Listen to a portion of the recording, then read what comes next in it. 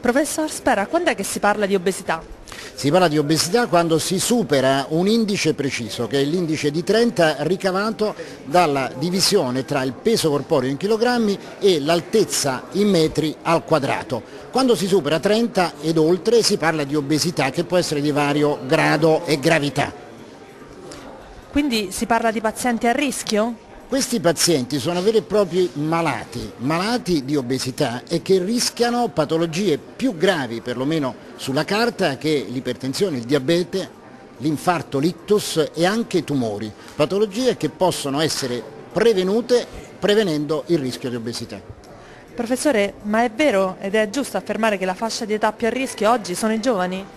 Non sono più a rischio, ma sono coloro sui quali si deve svolgere l'azione di prevenzione perché i giovani, gli adolescenti tra i 6 e gli 11 anni hanno adesso una percentuale di obesità che è identica a quella degli Stati Uniti dove c'è il boom dell'obesità purtroppo. Questi giovani sono coloro che se continuano questo trend diventeranno obesi da adulti ed è su questi che si deve svolgere soprattutto l'azione di educazione e di prevenzione.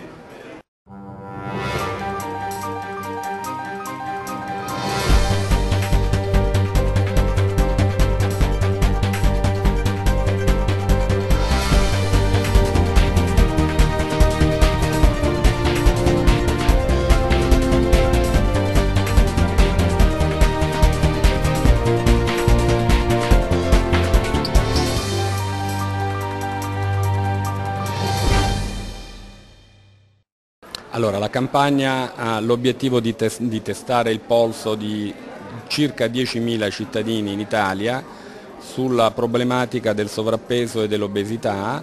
Eh, inizia dalla capitale da Roma il 13 e 14 febbraio e si concluderà a Cagliari in giugno e toccherà circa 50 città italiane. Metteremo in campo eh, oltre 200 medici, 50 ambulatori eh, mobili 50 eh, infermieri e, saranno realizzate oltre 10.000 eh, ehm, indagini dal punto di vista laboratoristico per poter rilevare appunto, lo stato di salute in relazione al sovrappeso e all'obesità di 10.000 cittadini.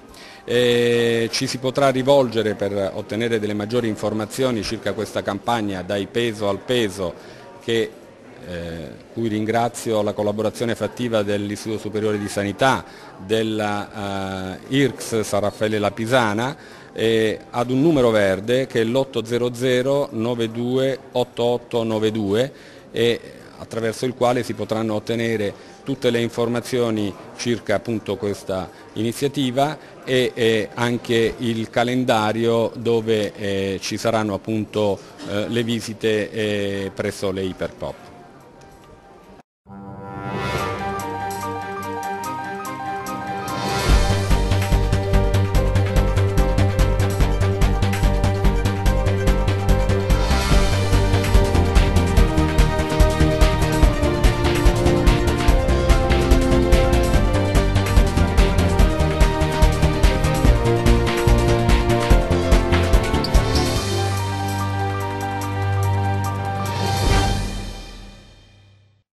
Allora, per parlare di malattia è necessario che si dimostri la presenza di un organo ammalato. Allora, primo concetto, un organo. Si parla normalmente del grasso, in realtà il grasso forma un vero e proprio organo come eh, tutti gli altri organi del nostro organismo, come il fegato, come il rene. Quest'organo è formato da diverse componenti, da diversi tipi cellulari gli adipociti bianchi e gli adipociti bruni.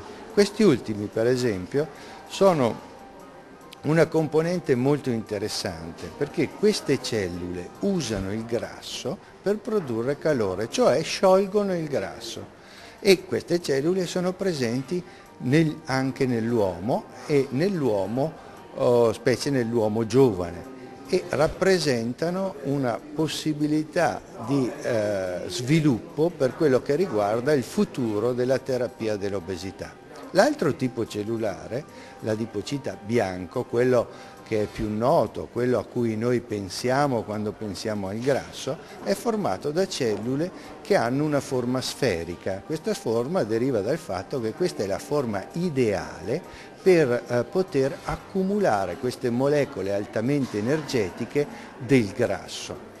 Queste cellule, quando noi diventiamo troppo grassi, si rigonfiano come dei palloncini e giunto ad un certo limite superato questo limite, scocchiano e muoiono.